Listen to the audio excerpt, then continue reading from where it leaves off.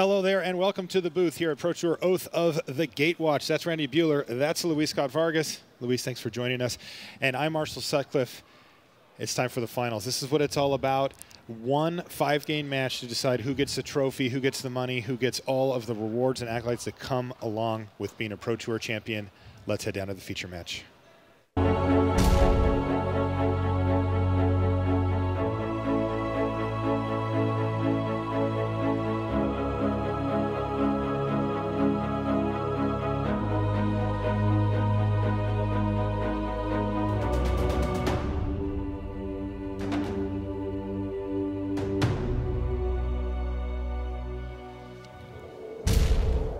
And welcome to coverage of Pro Tour Oath of the Gatewatch. I'm Marshall Sutcliffe in the booth with Luis Scott Vargas and Randy Buehler. It's been a long tournament and it's now time for the finals. We've got our first player here, JC Tao. This is his third Pro Tour of his life. He's in the finals here. He plays for Team East West Bowl and he is on the blue-red Eldrazi deck. His opponent, well, this is his third Pro Tour top eight. That is Ivan Floch. He was he played for Team Face to Face games here, also on an Eldrazi deck, but on a different flavor. He's on the colorless Eldrazi. And Randy, that that's kind of the one of the big questions that we're going to get to answer here is, well, who, who, who broke it more? Yeah, who broke it more? These are the right two decks. These are the right two teams to be in the Pro Tour final. Oh, turn zero Gemstone Caverns. Lucky. Luck. you don't make the finals of the Pro Tour without a few luck counters. so when, here's a physical manifestation of that. yeah, one of these teams is, and one of these decks is going to get remembered as having broken it more. I think that's the right way to look at it. All right, so Luis, you played the deck that Ivan's on here. Yeah, in fact, against JC. So this is the 75 card mirror, uh, or in on both sides. Like I just played the even 75 against uh, JC's deck, and didn't didn't go well though. The, the match was very close. I do think the blue-red deck is slightly ahead. Uh, the card Drowner of Hope is a really big one, and Eldrazi Obligator in a fast game can really seal the deal. Now, what do you make of this opener here, Luis? We've got two lands already in play here for JC Tao, but no play yet. No, he, he's got Reality Smashers, what he's waiting on, and he actually could have played an Endless One as a 3-3, but he chose not to. Okay. And it looks like on draw step here, Ivan Floch is going to just nab that Ugin with a Ghost Quarter here in an attempt to stifle JC Tao's mana development. If you're not the first person to get out a Reality Smash, is the really big one, the Thought Knot is a big deal too, then using Ghost Quarters makes sense. Uh, that's one of the advantages the colorless deck has is it does get to, to play Ghost Quarter. Uh, another thing to note is that JC doesn't have Urborgs in his deck, so his Eye of Ugin's never naturally tap for black mana. Sometimes he can piggyback off of the colorless uh, deck's Urborgs, which it's actually a real risk. We considered siding one copy of Urborg out because it's so bad to play Urborg into their Ugin. They get to untap and and, and start tapping their their yeah. land. But oh, this is actually really big. It might look innocuous, but JC played a second island. That's his last basic. Now even knows that any further Ghost Quarters are just straight up strip mines. They do run four Ghost Quarter in this list. Ivan's got four in the main deck here. So yeah, any any further Ghost Quartering are going to be very good for him. Though he doesn't have any in his hand, he's got triple Reality Smasher, a Spellskite and a Mimic. So, Eye of Ugin uh, was in fact the exiled card off Gemstone Caverns, which makes Ghost Quartering it hmm. even more appealing. Sure. Did you guys consider Gemstone Cavern? We did. That was in one of the lists. Uh, ended up ended up liking what Mutavault offered the deck more. Mutavault was really key in just getting extra damage through because this is an aggro deck in, in a lot of ways. Sure. The extra damage from Mutavault, sometimes the extra blockers, sometimes the combo with Blinkmoth Nexus, since you can pump Mutavault with Nexus. Relatively slow start here for these players is uh, Floch is just going to add a Spellskite to the board here before he starts smashing realities next turn if he can find another source of mana here. And not much from Tao after that Ghost Quarter in the early stages of the game there. He, he hasn't made a play yet. Well, both players are sitting on Reality Smasher and are one mana away from casting it at this point. Uh, Tao dismember. is just going to go ahead and dismember the Spellskite since eventually he's going to have to, and because Gemstone can tap for black, he's able to do that without paying uh, excess life. All right, well, an Endless One finally does hit the battlefield here for Tao. It's just a 4-4. Oh, and it was Ratchet yeah, Bomb Ratchet, off the top. Ratchet Bomb does kill the Endless One. That, that, is, that is relevant, so Ivan's going to be able to clear the path to hit for two, but he really just wanted to draw a land. If he could play Reality Smasher there, I think the first person on scene is going to have a huge advantage And that was a land off the top of the library there for JC Tao. So reality starts getting smashed. Bam, you're down to 15, Floch, and pass the turn back. Can Floch find a land of his own? No. He can't, but he found a Thought Knot, which is actually pretty good because the Mimic's in play. Thought Knot lets Mimic hit for four. Okay. He gets to steal the Ooh, well, Drowner. Presumably the Drowner, even though JC can't cast it yet. And then next turn, play if he draws a land, play Smasher attack with two five fives and a four four. It's kind of unfortunate because Endless One coming out as a five five is really annoying here. Ivan could take a gamble here. He could take Endless One and just hope JC misses on lands, but. It's Reality Smasher, not Endless One. Oh, it's even Reality Smasher. So the, it- either way, he could take a gamble and take the five drop. Just and, hope he doesn't draw and land hope he doesn't draw lands. But the problem is if that doesn't work out, you're in so much trouble. Okay, in the meantime, the Mimic's going to get in for four, and Floch's going to pass the turn back. What does Tao find on the top of his library? Looks like he found an Eldrazi Sky Spawner. Yeah, the the the draft superstar now constructed powerhouse, in modern, no less. and and Tao's got an interesting situation of his own here. He can play another Reality Smasher and hit Ivan down to, to five, but he's dead to almost everything. He's actually dead to even to end a land because of the two Mutavaults and just gets attacked back for ten. So that seems a bit aggressive. Attacking with one and leaving one back doesn't sound too bad, though he's got to put even on a Reality Smasher in hand, at least one. Ivan has three cards in hand, hasn't been playing lands. That's the, one of the few cards in his deck he wouldn't be able to cast. So you see JC Tao. He's actually not. JC's not in great shape. If Ivan draws a land, JC, JC's going to have a lot of problem here because he can leave back both Reality Smashers, but then Ivan just goes Smasher, Smasher, Smasher, just over the next three turns. Again, assuming he draws a land. He can attack Ivan down to 10 and then have one 5 5 back to block, which lets him trade Reality Smashers and take 9 because the Mimic, remember, becomes a 5 5. Right. And go to 1 and be, you know, in a situation that's really problematic the next turn. So Thought Knot Seer was a pretty incredible draw as it turns out. Yeah, that Drowner was JC's plan for not dying to these Reality Smashers. Right. Doesn't have it anymore. Okay, so he is going to smash in there and Big draw even the life totals. And if this a, it is Oh. a land, he finds Eldrazi Temple. an Eldrazi Temple, which gives him access. Now this is going to force a chump block here. Well, so Ivan knows that JC's just got one random card in his hand that he drew off the top of his deck. Okay. And it's a forced play. If he plays Reality Smasher, makes Mimic a 5 5, attacks with. all he could actually. Just he with could actually, two five He could attack even with just the two 5 5s. He doesn't Hmm. have to attack with Thought Knot Seer, but he- regardless if he attacks with both 5 5s, JC is basically forced to block Reality Smasher since it's better to block that than Mimic under most circumstances. He can. So Ivan's big decision here is whether to put JC down to one or leave him at five and keep a thought knot back in case uh, JC has another reality smasher. I think Ivan is dead to Eldrazi Obligator no matter what he does, um, barring not attacking at all, which, especially with the Mimic out, seems pretty unrealistic. But this is an interesting turn. I mean, giving up four points of damage is relevant, but the difference between one and five isn't very big when you, you're doing all your damage in chunks of five. What it really does is it makes something like Mutavault become lethal. K- is unlikely to beat a Drowner of Hope either, but he doesn't know that JC didn't draw a land. Because if had JC drawn a land, it would behoove him to not play it, because that would conceal that he could have a Drowner next turn. So Ivan's got to factor in that uh, this, the two draw steps could be land Drowner or Drowner land in that order. Okay, well, he's going to cast a Reality Smasher. This much we do know. The question is, what's attacking here? Well, Yeah. JC can't wait to block. I, I kind of like just attacking with the two five fives. Again, you're dead to obligator. I think no matter what, uh, that's fine. You can you can concede to that card. You're in trouble against Drowner no matter what. But this way, you don't die to a second Reality Smasher, and you presumably have lethal next turn because JC is at five, has one blocker, and you have now two five fives. Though, if JC then leaves Reality Smasher back, you put him to one. Yeah, this is the more conservative play, and I think you're winning this game by enough that it's a, that I'm okay with it. Okay, so Smashers do trade off, and that is going to half JC Tao's life total down to five. And this is a big draw step for JC. What can he find off the top of the library? It was a Thought Knot Seer. Uh, look like a bio aggregate. Oh, sorry, to was me, it but it could be a thought knot seer. You could be right. All right, we'll see what he has. Either way, he has to cast it, and this is where not attacking with thought knot meant that you don't have lethal, but it does. Oh, it is a thought knot, so that takes one of one, of of the, the two, two. reality smashers. but part of the reason that Okay. Ivan's play last turn was was good is that now two five fives are still coming in, and it's going to prompt trade chump block go to one, and at that point. Uh, I don't think JC can win even with and if Ivan draws a land, he can add a Mutavault to the attack, right? right, because And he drew it's just Eldrazi. Temple last round exactly.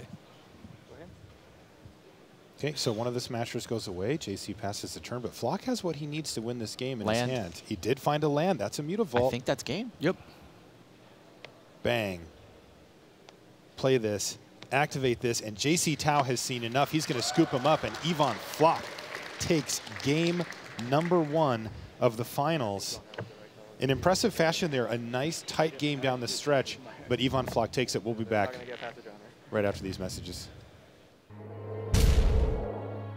Start on your road to the Pro Tour by playing in a preliminary Pro Tour qualifier. With more than 2,000 locations running events around the world, you're sure to find one near you. Visit magic.wizards.com slash pptq for schedules and information.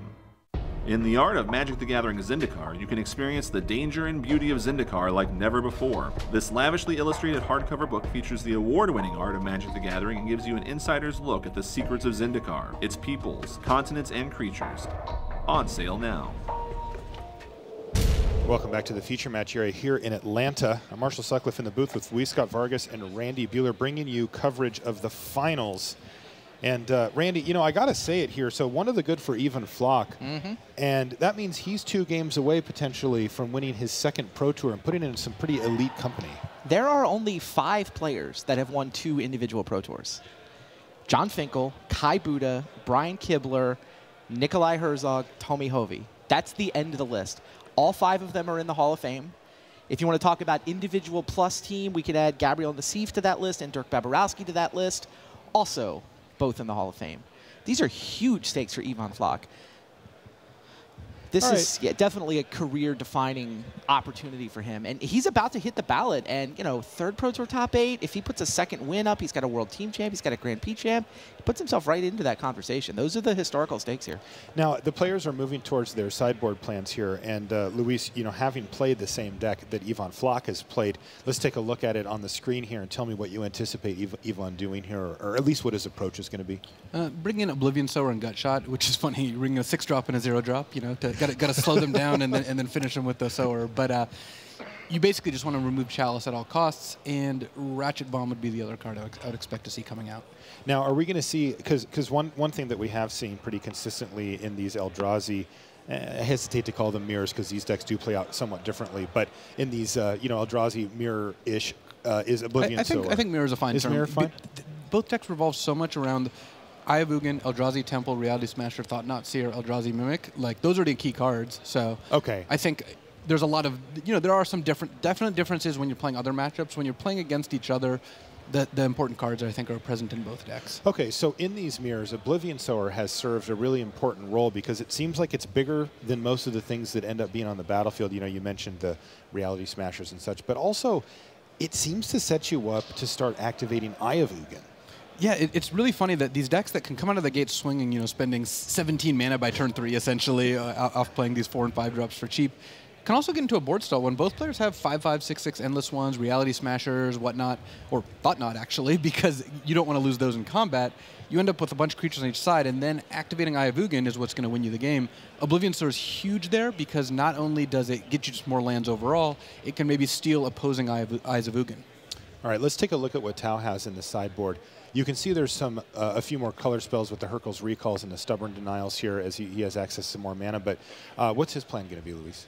So we'd assumed that just bringing in Gutshot and Tomb of the Spirit Dragon, but he did play a Ratchet Bomb against me post board, and actually it sounded like he he boarded out Endless One in anticipation of of, of our deck having more Ratchet Bombs. So that's a little different from what we anticipated, and. Uh, I- I think Endless One's important enough. I would be tempted to leave it in. Just it comes down uh, sometimes as a four-four on turn two. Sometimes it comes down as a seven-seven or eight-eight. Now that Tomb of the Spirit Dragon is is is that actually going to get activated in a meaningful way, or is it just another land for him? I think it's very relevant because you know in any kind of stall or race, you can start getting three to five life a turn off of mm-hmm. it. Makes it really hard to like die to, ink, to Blinkmoth Nexus because one of the paths to victory is just flying over for two points turn with Nexus. Tomb does shut that down. Yeah, it was pretty relevant against Shuhei. There was a game where he gained life against Shuhei that was relevant to the race, and Shuhei wound up having to use a Ghost Quarter to destroy it. By the way, we, we've got it's kind of funny for JC Tao because he is very comfortable in this matchup at this point. Oh, yeah. This is actually the fourth time in a row he's played this deck. Yeah, he played Shuhei, Shuhei, me, Ivan. Yeah. It's crazy. Seems to have figured out the matchup. He's, he's gotten all the way here, though he does find himself down a game here in the finals with some work to do. But remember, we're now on best of fives here for the whole top eight, so he, he's got he's got some wiggle room here. Did you get the chance to test much with Ivan, Luis?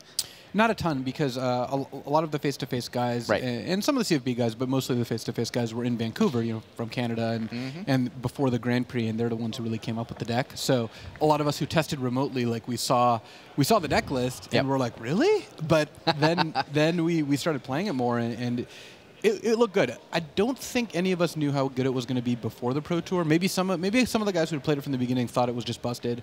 I know a lot of us were a bit skeptical. I have to admit. Really? Like sitting down for round one, still skeptical? not round one exactly, but what really convinced me was a couple days before the tournament. I was playing the Affinity side, which is supposed to be one of the worst matchups, and I Right. think I think is.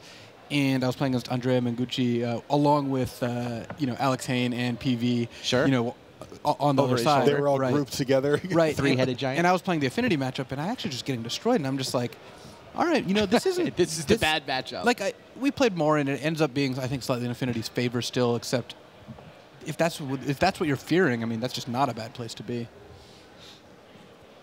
How, how late in testing did this deck come about? Uh, Jacob posted a list pretty early on that looked ended up looking fairly different, but it had a lot of the same important parts to it, and uh, it just kept getting refined from there. The deck went through so so like they played so many games with it. Uh, it I mean, it, I think it, it is really important to when you're trying to play an all colorless deck to really maximize the slots you have because you have access to so few actual castable cards, and finding things like gut shot was really really important. All right, so Floch is taking a look at.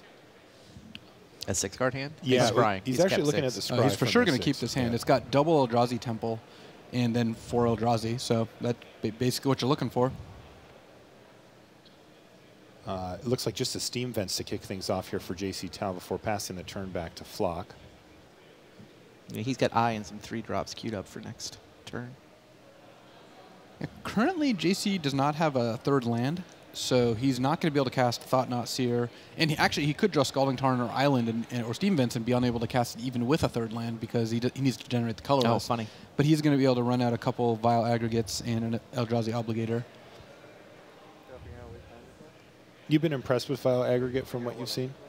It's looked good. Yeah. It, it also looks like it's going to be a pretty important card against like Burn, for example. Just a one mana, a one mana, one five or two five is Five really toughness. hard for them to deal with. Yeah, the only downside for JC Tao uh, Hmm. uh, with that card is that it doesn't match up very well against Reality Smasher. Ivan went in the tank A and came of out the with uh, 2-2 Endless One. Okay. And Shivan Reef off the top, very good draw. It's like basically exactly what JC was looking for because now he can cast Thought Knot Seer, which is the card even I'm sure was was hoping to draw. He actually doesn't have that particular Eldrazi. you're going to do a good job of holding off the 2-2 and now the 3-2 Matter Reshaper here. So, yeah, Aggregate looking pretty good. Yeah, it's gonna. It, it basically serves wall purpose for the first you know, four or five turns, but then once some of the tokens start coming out, the drowners, the the sky spawners, just more creatures, all of a sudden it's attacking as a seven five. And here we go, Thought Knot Seer on turn three here from JC Tao. And he is going to He's got to decide whether he wants the sower or the reality smasher. Those are the two options. Worth noting that Ivan played a second temple here, and, and the land sequencing is really important in this deck because you have, you know, Mutavault and Blinkmoth, which you want to activate and attack with, so you have to play early. But you also, in this case, you want to play Temple Temple. That way, if you untap and draw a third temple or an eye, you can play the Oblivion Sower on turn three. Right, of course. So JC Tao has to try to figure out now if he thinks this game's going to go for a while longer. And maybe he doesn't. He took the smasher. Yeah, he wants to make it so Ivan can't can't have a good play next turn. And Ivan actually drew one of the it looks like one of the worst cards in his deck, uh, Ur- Urborg, which is a, Oh, a no. really double-edged uh, swamp, as it were, because it, it lets JC's Eye of Ugin tap for black mana, which just increases JC's mana by one. It's like a land that when you play it, your opponent gets a land, which is not a very good card. Yeah, now you see the downside here to Ugin. JC's just drawn a second copy. Yeah, that i it is legendary. That is a drawback. It, it's funny that that second copy is likely to be useful this game because at some point Ivan's likely going to want to Ghost Quarter once he draws one, and then JC can just play it. Yeah, we saw JC. Uh, we had a quick chat uh, on video about his sideboard plans, and you know he, when he was saying he brings in that Tomb of the Spirit Dragon, that was part of the reason why he said that he felt like well, your team, you know, was pretty proactive about using the ghost quarters. So Vi aggregate up to a 5-5 now. Now now it's time for it to come in. I don't hate the double block here because triggering Matter Reshaper could Sure. could end up being pretty good. And he is going to have to deal with that aggregate at some point.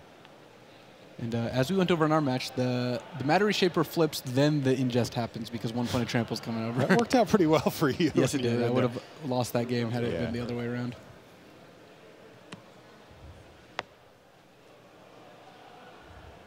Oh, he hits a ghost quarter.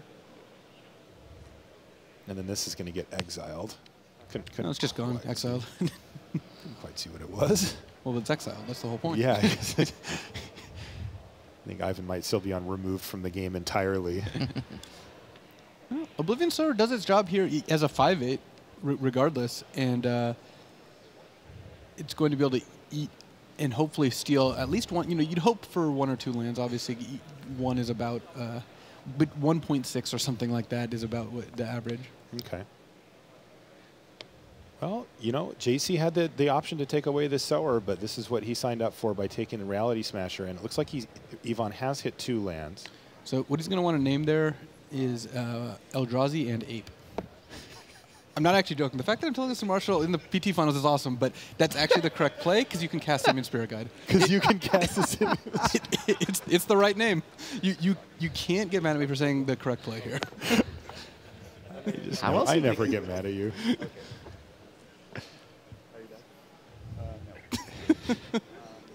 he did name Ape. All right, good.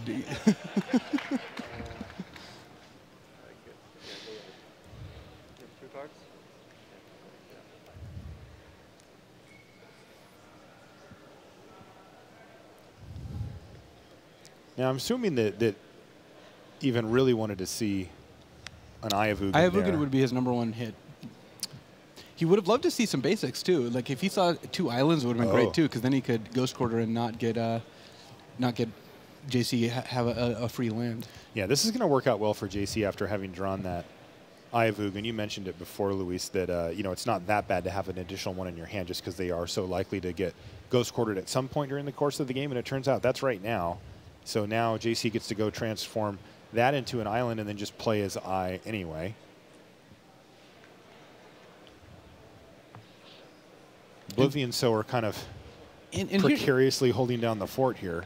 and here's where I th- oh not on Oh. for much oh. longer. Cancel Oh, that order. Here's Obligator. How much damage is this? This looks like a lot. That's 20, Looks like 21. 21 damage. Wow. And Oh, Ivan's man. obliged to scoop there. I mean, that's, that, that, that's what Obligator does. Wow. So JC Tao in one big flurry flies in and evens this match at one game apiece. 21 damage in one hit there. Yeah, uh, Eldrazi Obligator being the last spell cast is uh, not an uncommon occurrence. Oof. All right, so we are now tied up at one game apiece, which means we're kind of back to uh, best of three, your, your normal match of Magic here. And things starting off back in uh, Ivan Floch's side here as he's going to be on the play. So one, one of the cards that seems to be kind of the mirror breaker here, and we, we were just talking about it a minute ago, Luis, is Oblivion Sower. This tends to come in out of the sideboard, though I have seen some builds of this deck that have it in the main. Um, what's the decision process there? It's a little slow. We, we almost played one main, or at least some of us did, just because it's one of it's actually for the Abzan deck was it was the main reason to put it in. We didn't expect tons of Eldrazi, but turns out the Eldrazi are out in force, uh, and just a, a long game card that helps you get to Eye of Ugin faster. It was especially good against uh, Frank Lepore's version of the deck. He, you know, he made top eight at, at uh, seventh seed because he had Relic of Progenitus and Scrabbling Claws, which you know to enable his own Blight Herders. But I, I, you know, I played against him in the Swiss, and I played an Oblivion Sower and got like seven lands off of it because it looks at all exiled lands, and when Relic is exiling Ghost Quarter lands over and over again, you, you get a, a, a lot of extra lands off of that. Yeah, this does seem to be like that natural one step up for this deck if you want to be just a little slower and a little bigger. The Oblivion Sower does a really good job of that. Randy, I, I wanted you to, um, you know, we, we have to realize that not everybody watching this stream has been with us for the weekend. And I want you to set the stage for the top eight as far as what decks made it and what the story is going to be when we look back on this tournament. Yeah, I mean, f- coming into this tournament, I think it was an open question in a lot of people's minds whether there really was an Eldrazi deck. Right? It was only 8% of the field. I mean, it was 8% of the field. It showed up in, I think, bigger numbers than a lot of people were expecting, and it's because you had these two large teams that just flat broke it. So, I mean, when the story of this Pro Tour is remembered, it's very much going to be here was this new format, here was this new set, here were a couple of bannings, and if your team was capable of finding the right deck, you get to go to the top eight right? Three members of the Channel Fireball Face-to-Face Alliance, uh, two members of the East-West Bowl. You know, Frank Lepore, working on his own on Magic Online, also found a list. A member That- of the that- Secret Affinity team. Yeah, and then you get the Secret Affinity team, exactly, two Affinity players. I you don't really see that many Pro Tours that actually just get broken this this way. Like, when's the last time a Pro Tour format just got absolutely broken in half? I mean, I, I think it's Caw-Blade. I don't feel like this has happened since Paris. That's the last time I remember seeing it since I've been actively watching Pro Tour coverage, which started in around 2009. Uh, was was that was kind of the story, and th- the really crazy thing too for me is that this happened in modern, because Sure. if you look back at the Pro Tour top eights that were played in modern, they're remarkably diverse. There's usually seven different archetypes. There's even been 8 uh, and it's not uncommon to see that. Um, you know, where we come in the booth and we get to kind of say, "Hey, look at all the different decks in the top eight. and this one was so much different than that. This Yeah. Eldrazi deck just smashing the field. Yeah, and we could have a conversation about modern and what's going to happen now. I mean, I think a lot of people are interested to figure out can the metagame re- react to this deck? Like, is there a way that the metagame can handle this? And I feel like that's a conversation for next week and you know next Grand Prix. And for now, I just want to kind of enjoy watching these guys reap the spoils of all the work that they did, breaking the format in half. Well, I, I have to point out that uh, you know Pro Tour Berlin had six Elves decks in the top eight, hmm. but the Mono Blue Fairies deck Gabriel Nassif played in that tournament, ended up being the best deck in extended, and Elves was not dominant in that extended format. Elves never got a ban. Wow, that's a great point. and it turned out there was a good foil to that deck that led to a, I think, pretty diverse metagame afterwards. So I'm not saying that the Eldrazi deck is perfectly safe. We should all be fine. I'm saying that we should see what happens. Yeah, I agree. I mean, you certainly there have been plenty of examples historically where a deck was broken for the weekend, but now once the cat was out of the bag and people had the list that they could figure out how to attack, it became possible. Yeah, I mean, I having, hadn't thought of the Elves having analogy. access That's a to, really good one. to, to eight two mana lands m- makes it a little difficult, but uh, to, to see what exactly is going to go wrong. But I mean, I'm sure there are answers.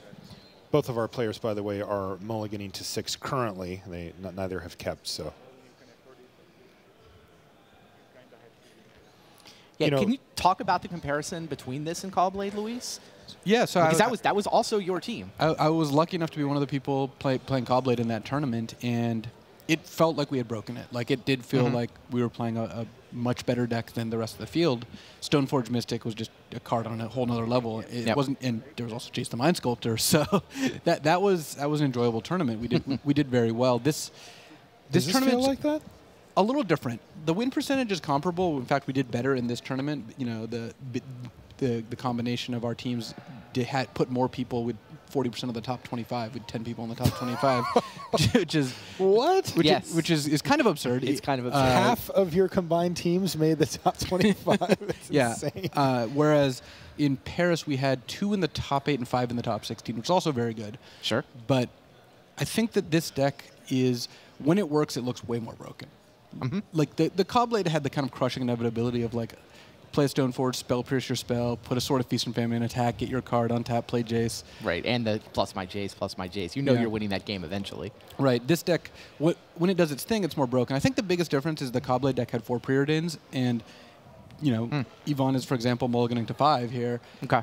The You Caw-Blade deck on before. ba- yeah, I, it just it happens. You have these eight cards in your deck, the uh, you know, Eldrazi Temple and Eye of Ugin, that you really need in your opening hand to be competitive in a really fast game. Caw-Blade did, didn't really. You could win the games without Stoneforge. You had Mana Leak and Squadron Hawk in your deck, and you had four preordains. So it was. It, I think overall Caw-Blade was more problematic because it just it didn't have any vulnerabilities really. Okay. A little Whereas the- consistent. The, Eldrazi deck is has some consistency issues with its within itself. I mean, even JC's deck has the need for colored mana and colorless mana, and does not have that many sources of either. Like, Yep. more sources of colored because of Cavern of Souls, but it's still you know you can definitely have problems casting his spells. So I, I would say that Eldrazi long term is less threatening, but in the short term, it certainly looks like it's doing more. so this ridiculous is the second best deck you've ever played at a pro tour. Yeah, we Or- had or this does discussion elves, does elves make the list? I mean, I- you I won a pro tour with that elf deck that was insane in Berlin. Yeah, somehow I got to play all these broken decks, which I- was pretty nice. Uh, Oh, you picked the right teammates. Yeah, yeah. Uh, whereas I think more people knew about elves. There, there was actually a significant portion of elves in the field. That's a, part of the reason Sure. that six made top eight. Right. Um, my guess is Caw-Blade was the, the, the one where I felt I had the biggest edge on the field going in, but all three tournaments it, it felt you know pretty absurd. You, this is part of the reason you play Pro Tours is to play decks like these on, in, in a, f- against an unsuspecting field. It's just a very satisfying. Oh yeah. moment. All right, It looks like Ivan's found a keeper here. He's got two lands, including a temple, a pair of reality smashers, and an endless one. So this looks actually pretty good. If he can find another two mana land, he can start just smashing on turn three. Eldrazi Mimic is the opening play here for JC. Yeah, he found a waste. The second most pla played basic in the top eight. Is it really? There were seven islands, six wastes, one mountain, and one swamp. That was the, the basics in the top eight. Yeah, this top eight's a little different than your normal. Yeah.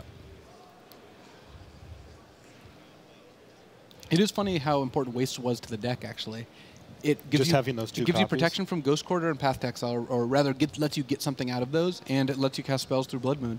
And so, despite the plethora of lands that tap for colorless and do cool things, you know, Tectonic Edge, Seagate Wreckage, you know, Rogue's Passage, all of these cool cool lands, we, it ended up being that Waste was the best option for those last two slots.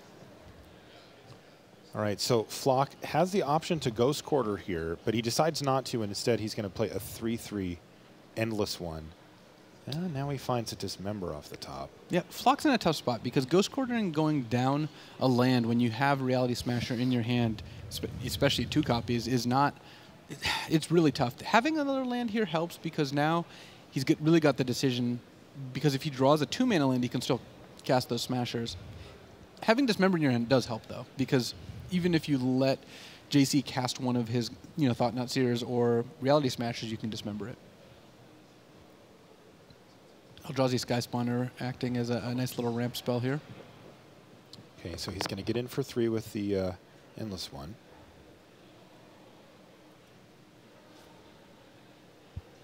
So assuming JC plays a one mana land next turn, he has access to three three mana plus the eye, so he can cast anything but Drowner of Hope. I think that drawing the Dismember pushes me towards not wanting to use Ghost Quarter here. Because you can dismember whatever gets played. You have two Reality Smash, so even if it's a Thought Knot Seer, you'll still have one at least. You can dismember a Reality Smasher, even though it is unpleasant to discard a card to the trigger. And then, uh, as I'm sure you have seen the interaction come up many times over the course of the weekend, you can't turn real- uh, the Eldrazi Mimic into the dismembered creature. Otherwise, you end Yeah. up with a, a very small Mimic. Yeah, that popped up a few times here. And yeah, I- Ivan looks like he's decided to take your line here. Luis, he's just passed the turn. It's also a disaster if you Ghost Quarter Eye and JC just plays another Eye. Which, I mean, sure, it can happen. You, you, you're aware of that, but in this situation, that's just really problematic. Yeah, and you know, Ivan on the mulligan to five here doesn't have a lot of resources to, to work Right. with, and he has to be very careful about all of that. In the meantime, it looks like he's just going to get attacked here. You hear JC kind of teasing Ivan because he's been doing the draw step ghost quarter. Why does he do that? Um, the idea to to, behind that is you hope that JC drew one of his basic lands on his draw step. and You don't want to take it out of their deck. You want to give them an opportunity to draw it. You don't want to give them a chance to go to their main phase with Eye and play. But I think what JC is saying is that Ivan is now tanking on whether to use Ghost Quarter Yeah. now. but he's like, well, you didn't draw step me. If you were going to do it, you would have done it then. Though that does camouflage to some degree that Ivan has a Dismember, which is another spell he could cast here. Though dismembering one of like the Eldrazi Mimic or Sky Spawner here we could dismember the the Scion. I mean, I gut shot at a Scion, and it seemed like a very reasonable play to, to make because it does prevent something larger from coming down. But Eldrazi Mimic is the biggest long-term threat because it could turn into a 4-4 or 5-5. Yeah, Floch is going to do that. He's going to go ahead and dismember the mimic.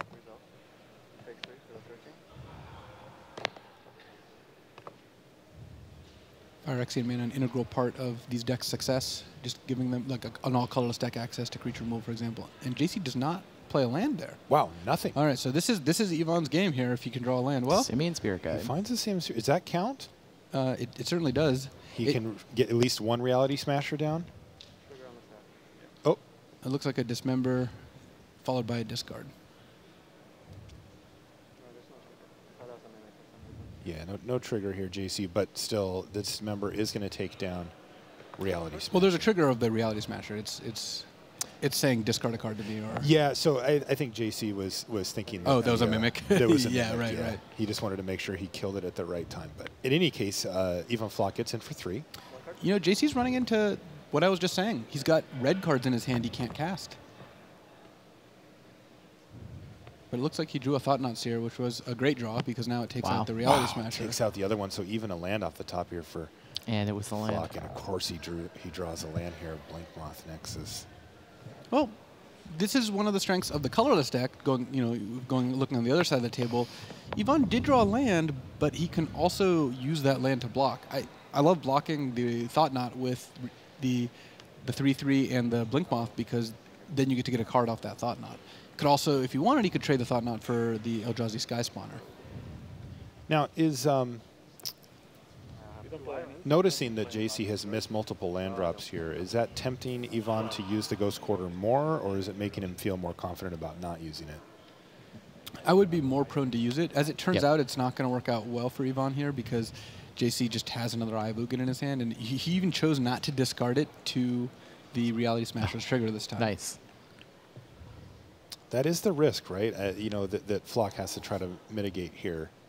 Because man, it's pretty disastrous if he has another one in his hand, right? You turn it into a mana-producing land and still Right, you actually netted do you like JC mana gain in mana? Yeah.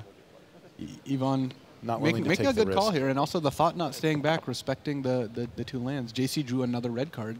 Wow. So JC needs to draw red mana, and he'll be very far ahead. And Ivan needs to draw spells. He, Ivan can cast everything but Oblivion Sower right now. And if he's able to slam like a Reality Smasher, then he's in very good shape. He's going to attack for one with. So he must have drawn a, a cheap creature to play here, or another Nexus, because otherwise the Thought Knot would, would, would get to attack. Yep. So a pretty close life total race here, all told. It's nine to eight. Floch on a mulligan to five, but mana problems for JC Tao has kind of evened things up. He's got a ton of cards in his hand there. You can see he's got five. And JC actually drew Reality Smasher and now has an Eldrazi Temple, so you can actually play a Reality Smasher here. And he does. And this could change the race dramatically as he's nearly attacking for lethal here. It's seven. Time think- to trade Nexus for Sky Spawner. Yeah, for sure. If the Nexus wasn't something sick, it could block, double block Reality Smasher, and then give it give itself plus and plus one, hmm. which Ivan is setting up to do next turn here. Okay, so he's going to go ahead and block. Still takes five and drops down to three, and he needs to find some action now. Was it an Oblivion Sower? Yeah, and because he had to block with the Nexus, he's, Oh. one, he's one mana short of casting it. God, ah, things just not coming together for Floch here. He Yeah. finally got to five mana, then he got his Reality Smasher Thought Knot Seared, and it looks like Floch's just going to pack it in here. Yep. That's JC Tao winning game number two. H- Had Floch drawn a land instead of a Simian Spirit Guide, that game would have been much easier. I mean, that's one of the drawbacks of Simian Spirit Guide is it, that turn it didn't accelerate Floch because he'd already been missing land drops, and even though it was plus one mana, not having that permanently did come back to bite him. So we're working our way down the stretch of the finals here, and we could have a champion next game. It could be JC Tao. Floch, of course, not going to give up easily, though, and he's going to be looking to win the next game and force a fifth game to see if he can join that elite group of players who have two Pro Tour wins on their resume. What a crazy Sunday if JC Tao pulls this off. Working his way through two Hall of Famers and Ivan Floch, working his way, that's 15 Pro Tour top eights he would have to defeat. That's like that's like getting paired against Jon Finkel once. Well, well, the, the upside for him is that if every time he beats this deck, it be, becomes more and more clear that he's got a, a matchup Right. advantage. You know, if, you, if, you, if you're going to have a matchup advantage, playing the same matchup three times is pretty awesome for you. yeah. So let's take a look at uh, an oldie but a goodie here. Let's take a look at Blink Moth Nexus. Uh, you, you were saying that one of the advantages that the colorless deck has is that it does get access to some of these these lands that it can use pretty effectively as attackers and, and even sometimes blockers. Uh, how good is Blink Moth in this deck? Blinkmoth is very good in the deck. It's one of the reasons to go colorless because you cut yourself off of playing, you know, good colored mana spells like Obligator or Vile Aggregate, that sort of thing. But the fact that all of your lands can animate and do things is, is very relevant. Nexus gets in for extra points of damage. Against Affinity can block their copies of Blinkmoth or Inkmoth or Vault Skirge or Signal Pest, that sort of thing. And it, it does actually target Mutavault with its plus one plus one ability. That is a, a thing that happens. So Blink Moth was really important. There was 24 Blink Moths in the top eight because the two Affinity decks uh, were, were also playing, or maybe no, 20. Sorry, 20 Blink Moths in the top eight, which is that's that's a lot of Blink Moths. it's a lot.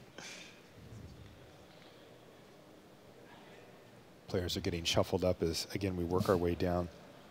Randy, imagine if we had Mishra's Factory. Yeah. I also want to mention here that we are uh, we're not in our normal booth. I, I, I found No, you Luis me. kind of wandering around by the booth, and I said, "Hey, we're Oh, up that's front, funny. buddy. Uh, we're, we're out in the crowd here, and you can see on the on your screen every all the viewers here. Everybody wave, hi. There we are, and uh, the early birds up in front there in the couches. Now that's the place to be right there. Yeah, you see Neil Oliver give the thumbs up as they're. Uh, Who's to say that we're not on a couch right here? And this is fun. We, we get to be out here with the uh, spectators, and uh, it, it lends a different vibe to the broadcast when we get to do this. Of course, on the other side of the uh, of the curtains, there we've got just one table set up in the feature match area for our two finalists.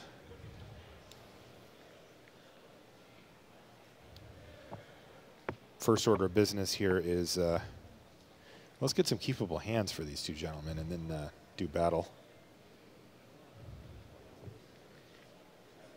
I think it's possible to construct a hand I would keep, you know, on, on either side here that doesn't have Eye of Ugin or Eldrazi Temple, but the bar is very high. Whereas if you have either of those cards, the the bar gets much, much lower.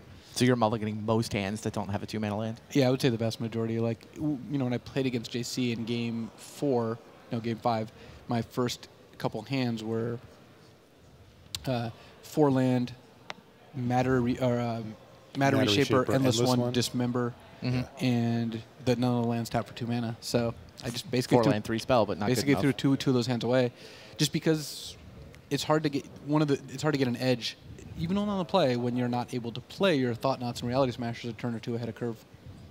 Kind of interesting too, because when you go down a card, if you do find the same hand minus a card but plus a two Yeah, mana right. land, It's, it's, like very you, similar. it's like you didn't mulligan. yeah. I, I do have to say I love the scry rule, the you know the Vancouver mulligan, if you will. That, that after you've mulliganed, you get to scry.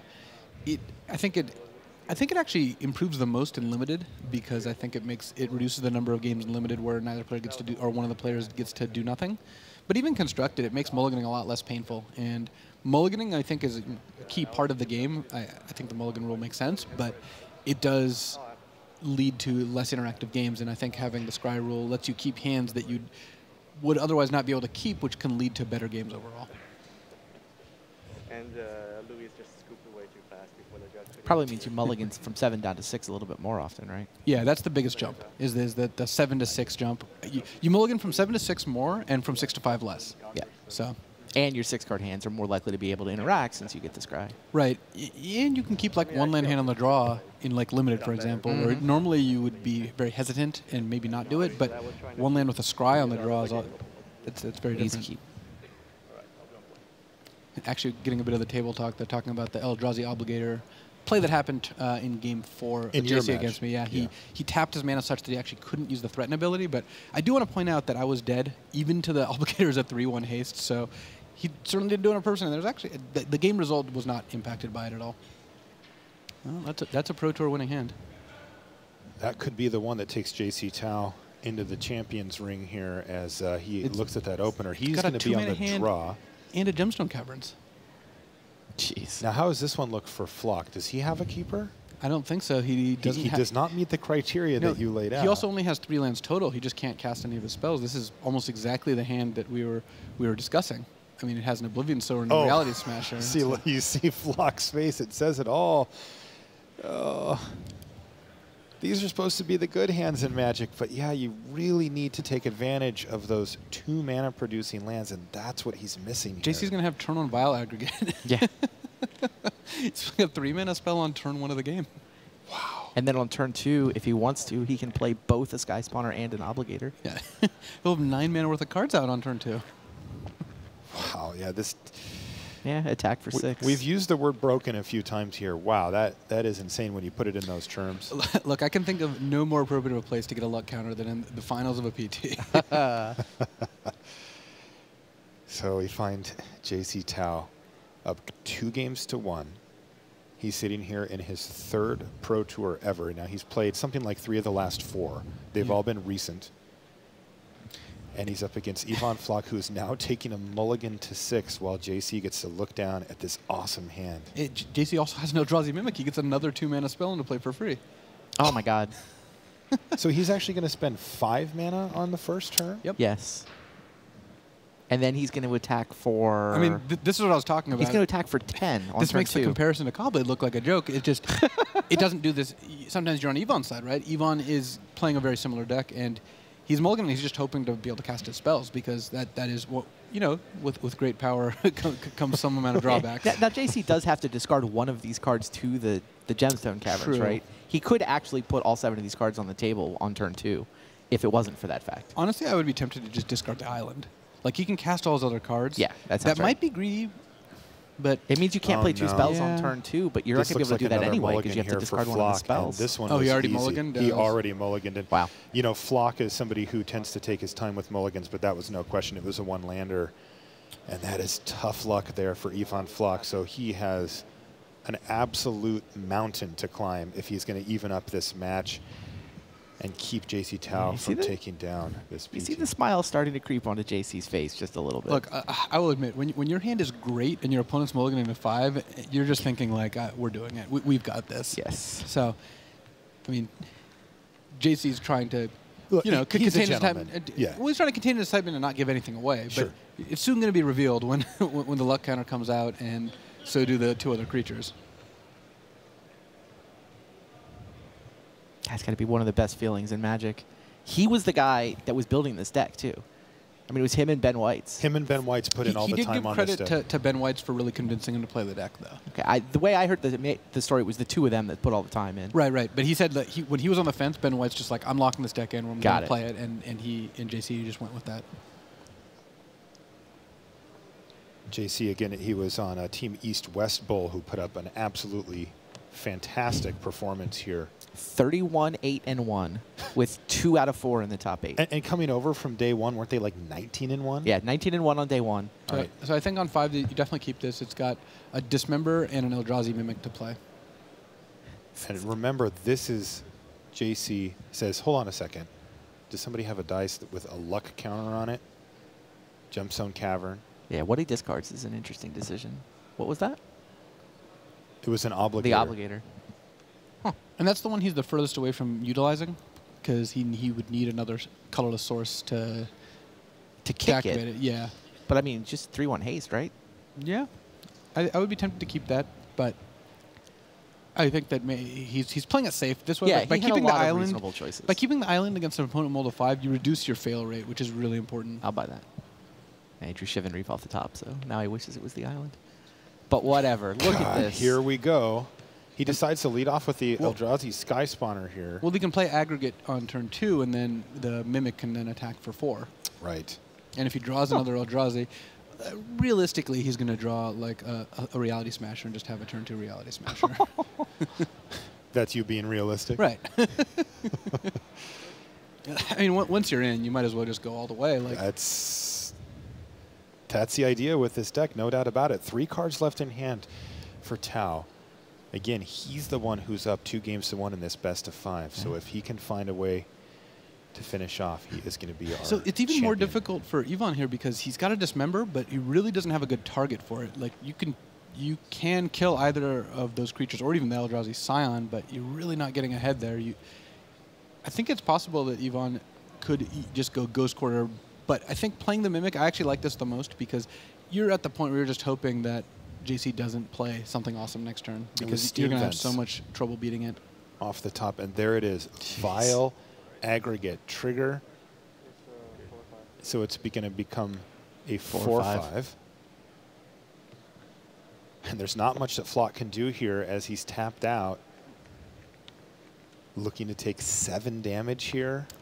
the, the, the only like silver lining for Floch in this particular situation is that JC has drawn two in a row. He drew Shivan Reef Steam Vents and has Island in hand. So JC doesn't have another spell. I, I like the product of blocking the, the Eldrazi Scion there. At least he gets some value out of it. As Ivan doesn't know that JC does have more more lands in hand, but this was mm-hmm. one of the ways to try to steal a win. Simian Spirit Guide off the top there for Floch. No, not a terrible draw. You know, if Floch's able to dismember Vile Aggregate, he goes to 12. He takes four off the Sky, Spawner Mimic, though he could actually even block with Nexus. Whoa. If JC just draws like three land in a row, we actually have a game here. That was another Sky Spawner off the top of the deck there for Tao. Right, that's not bad, but That does make the Vile Aggregate that much bigger, but it's still just going to die to Yep, dismember still here. dies to dismember. JC Tao sends in the team here, looking to close out this game and win a Pro Tour.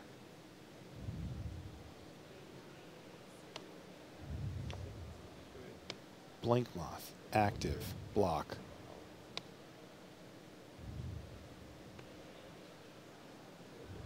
Dismember your Vile Aggregate. Take four. These make the trade, and Floch's going to fall down to 10 life after the Eldrazi Mimic hits him for two, and it's just another land for Tao. It's land off the top for Floch, too. if that was a two mana land, he had a Simian Spirit Guide, he could play Reality Smasher. Unfortunately, he does not have that. he has nothing, so Tao still needs to find action. What did he find? Looked like a Thought Knot Seer. That's what. I saw, That- too. I think hmm. Thought that's, not seer that's going to be tough to come back from. do it here. He reveals his hand of Reality Smasher and Simian Spirit Guide. Smasher gets exiled.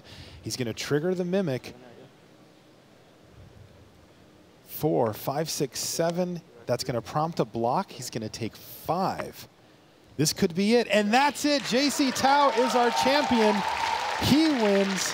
Blue Red Eldrazi are the winners here at Pro Tour Oath of the Gatewatch. Ivan Floch is going to have to settle for a second place finish.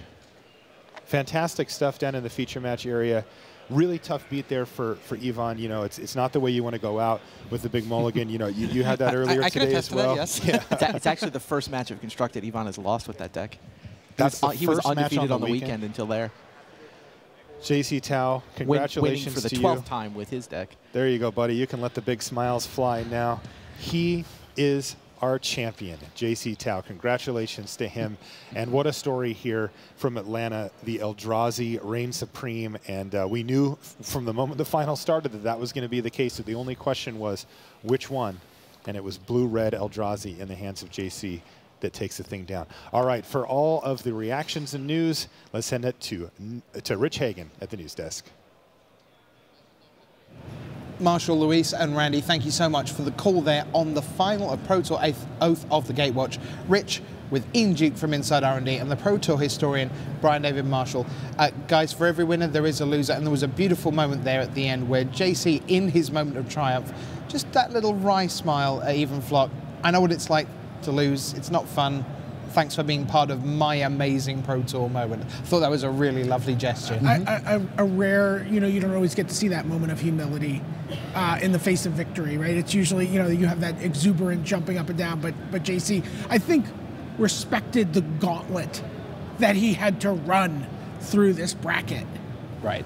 Yes, I that, mean, that was a sort of virtual handshake for six-time Pro Tour top eight competitor Shuhei Nakamura, six-time Pro Tour uh, top His, eighter. his bracket in the top eight was a Finkel's worth of Pro Tour top eights. right, six Right. six three.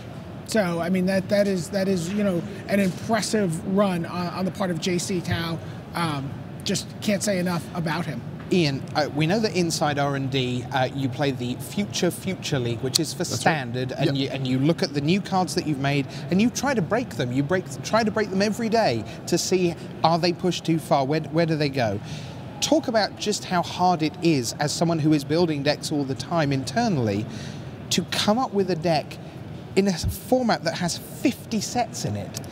Yeah, it's pretty wild. I mean, we had a lot of questions about how much do you test for modern versus standard, that, and obviously most of our testing is for standard. Um, we do think a lot about modern as well, but um, when you're testing a format, the larger the format becomes, it's not like simply imagine we're testing a format twice as big as standard, right? It's not that there's twice as many decks. There's far more than twice as many decks, right? Just the way different cards combine. So when you're talking about going from say a six set standard to a 50 set modern, just the number of possibilities are astronomical. And so it's really, really impressive to see these teams just go deep into the tank, do a lot of creative deck building, and ultimately get rewarding. I mean, that's one of the most fun things about Magic is figuring out your own deck, figuring out how, how to break things, and ultimately getting rewarded for it. And that's what we saw here today. Right, and Brian David Marshall, uh, lost in the shuffle because we have only one winner by definition, is that there were two teams that delivered that astonishing performance. Not just East West Bowl with the eventual winner, JC Tao, but also uh, the combination of Channel Fireball and Face to Face. This has been the best Channel Fireball performance ever. Maybe the best team performance ever that we've seen at a Pro Tour.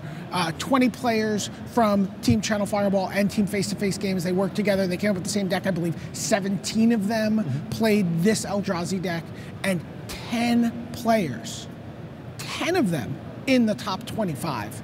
That is just absolutely outstanding. Three of them in the top eight alone. Uh, you know, one player in the finals one player in the semifinals, one player fell by the wayside in the quarterfinals. Yeah, and if Magic was just a game of luck and variance, if you had a team of 20 in a field of 400, well, you do the math, you would basically look somewhere between one and two of you would be in the top 25. They put 10 in the top 25. It, a truly astonishing deck building performance. We, we just saw that there is luck in Magic, though. Luck counters.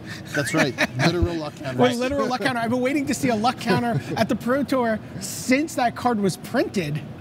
Uh, and you know we get we get it here uh, in the finals. It was so amazing. All right, well let's take you back to the start of the day then. Let's show you the bracket. If you're just joining us, this is how the day has panned out for us. We began with Shuhei Nakamura in his six Pro Tour top eights, colorless Eldrazi against Jiachen Tao of the United States, and blue red Eldrazi got the job done. Tao advanced to the semi-finals. Who would he face there? Well, it was either Luis Scott Vargas with colorless Eldrazi or Pascal Maynard with Affinity.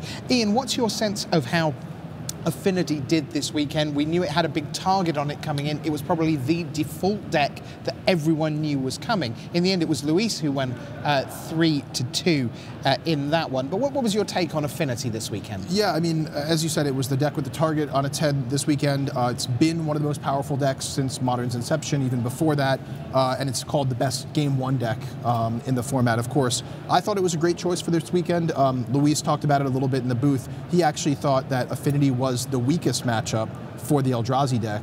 Of course, um, mm-hmm. you know, still still anyone's game as far as things went. But um, yeah, I mean, I thought overall it was a good choice for the weekend. We saw it win once in the top eight, and we saw it lose. But um, yeah, all fine. Let's go into the bottom half of the bracket. Andrew Brown was against uh, Patrick Dickmann of Germany. This was the other Affinity list, and although Affinity lost with Pascal Maynard, it won with Patrick Dickmann. Dickmann advanced to the semi-finals, and there he would face either the colorless Eldrazi, even flocked the third deck, uh, tied with Shuhei Nakamura and Luis Scott Vargas, 75 cards exactly the same, or Frank Lepore with Processor Eldrazi BDM. A word for Frank Lepore. Floch won that one in the end by 3 to 2. The old game in five, but an amazing first Pro Tour for yeah, Frank Lepore. absolutely. I think uh, there's a lot, a lot of players at home who could take a lot of inspiration from Frank Lepore, someone who's been, you know, writing about the game, uh, creating content about the game. You know, he's done some coverage at events in the past, right. uh, and has been around the game for the better part of a decade in a, in a visible way, but um, had never played on the Pro Tour before.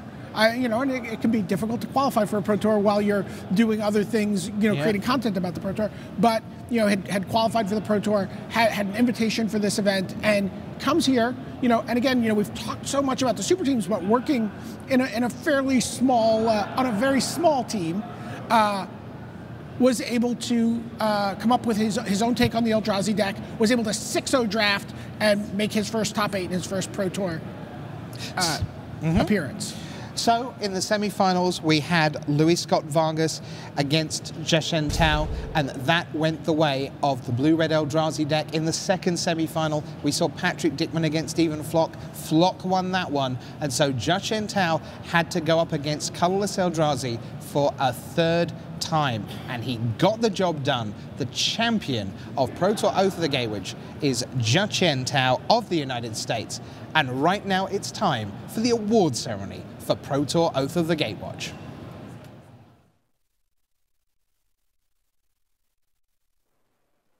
Hello and welcome to the feature match here in Atlanta for Pro Tour Oath of the Gatewatch. It's been a fun and exciting trip for all of our players and everybody here on the coverage team for the course of the weekend. Now, we finally found a champion here in Atlanta. Before that, though, I want to take a moment to recognize our finalist, Ivan Floch.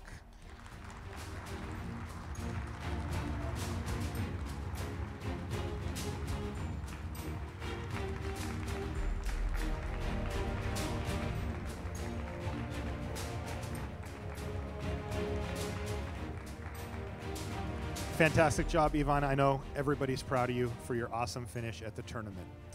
It is now time for us to recognize our champion, JC Tao.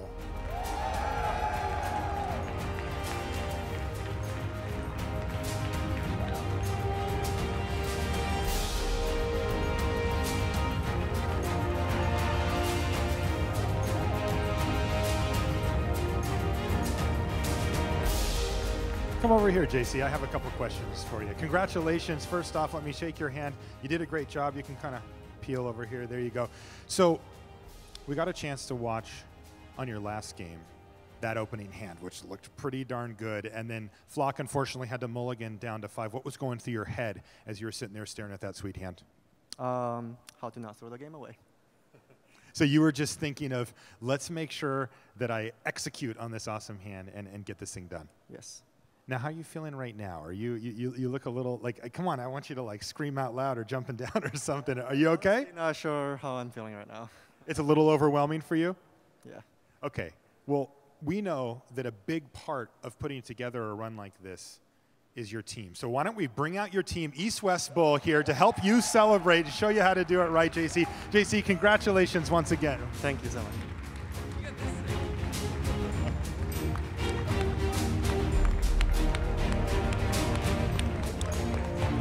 Ladies and gentlemen, your champion, JC Tao.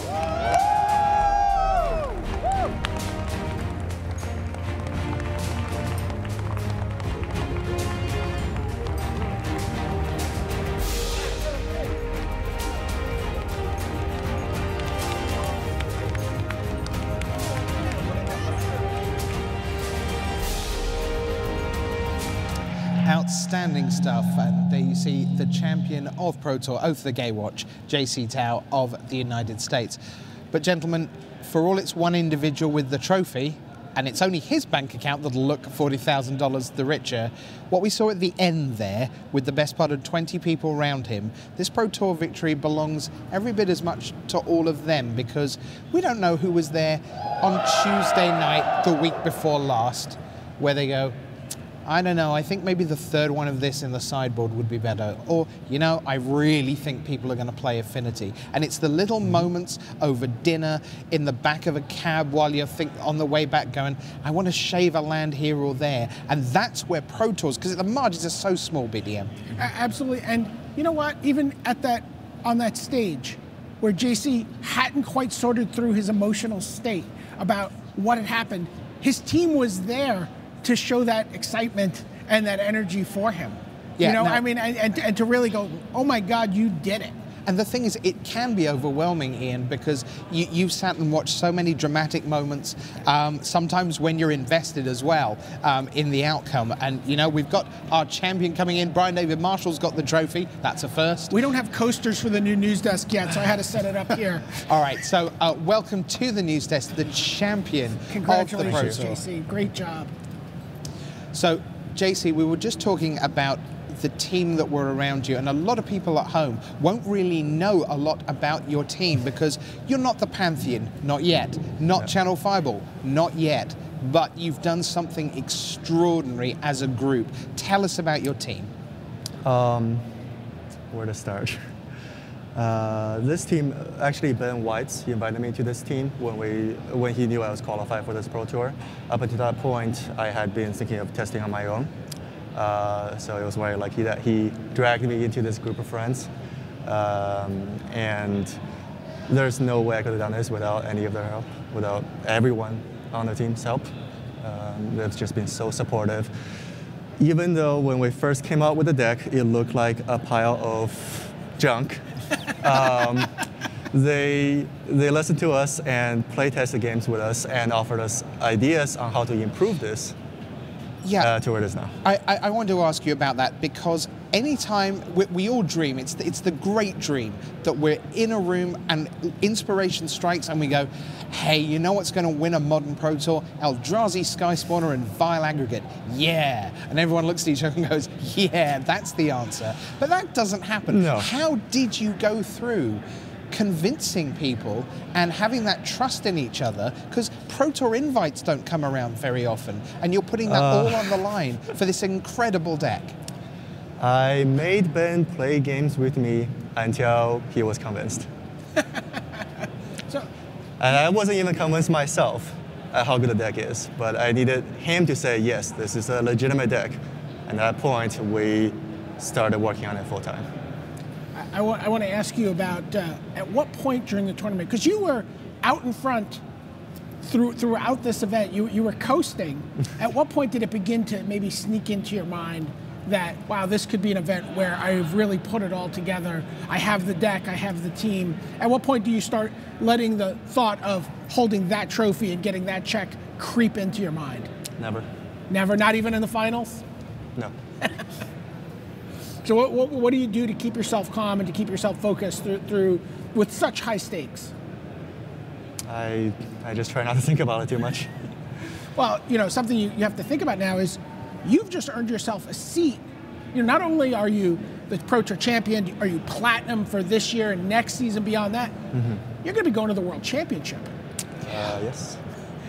But not very far though, because you're from Seattle, right? That is convenient. Yeah, so if we, I, I believe that may well be where we end up. So uh, we'll we'll be seeing you just down the road. Seattle's a great city to host it in. Certainly is. That's for sure. That's for sure. So, apart from your team, is there anyone that you'd like to uh, thank while we have this opportunity? Because everyone's magic journey is different, but it isn't just about the last two weeks. I know it can't be. You know, I still remember the very first person who said, "This is an island, and this is what it does for you." You know, so tell us a little bit about your magic journey from first Magic to first Pro Tour title. Um, well, I started playing Magic when I was very young, um, back in fifth edition. Uh, this was back when I was in middle school. We had no idea what was going on. Dragons were awesome, angels were great. Uh, and then I quit when I started college. Uh, and it took my friend Eugene, Eugene Huang, to really, uh, we were playing, we started going back to FNM drafts together and uh, during college days. And after, after that, we just never stopped playing Magic. So he was uh, always playing games with me and always a great friend to just uh, go to tournaments together, play games together. and he's someone who's had some success at the Grand Prix level. Did you Oh, uh, yeah. did you uh, get confidence watching him succeed that you could uh, follow suit? Um, he definitely inspired a drive in me, but uh, I'm not. I, I never imagined I would be here today. Well, you don't have to imagine because now you are here. That is your trophy. An amazing performance by you, an amazing performance by Team East West Bowl. Phenomenal. And an amazing performance by the Eldrazi. Maybe Grand Prix Bologna, Detroit, and Melbourne will have something to say about that in a few weeks' time. But from all the team here at Wizards of the Coast, at Pro of the Gatewatch here in Atlanta, Georgia, to all of you, play hard, play fair, and we'll see you next time on the Magic the Gathering Pro Tour.